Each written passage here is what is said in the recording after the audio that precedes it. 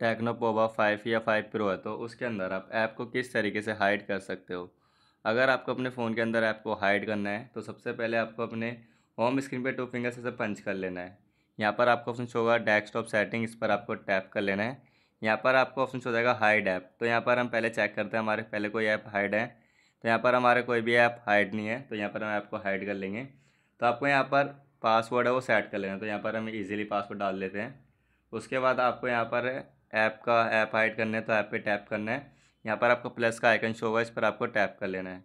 तो आपको कोई भी ऐप यहाँ पर हाइड करना है, इसके हम व्हाट्सअप कर लेंगे फेसबुक कर लेंगे और स्नैपचैट कन्फर्म कर देंगे।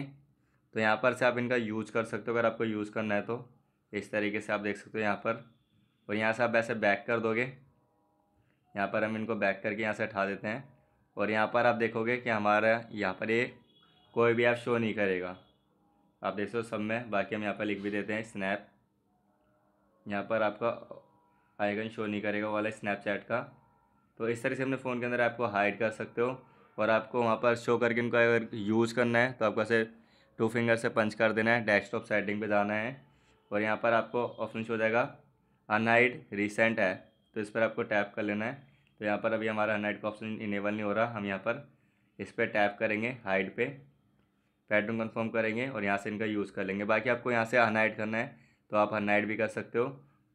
तो इस तरह से अपने फ़ोन के अंदर ऐप को हाइड कर सकते हो। अगर वीडियो चाहिए तो वीडियो को लाइक शेयर सब्सक्राइब करें। मिलते हैं नेक्स्ट वीडियो में, जब तक के लिए बाय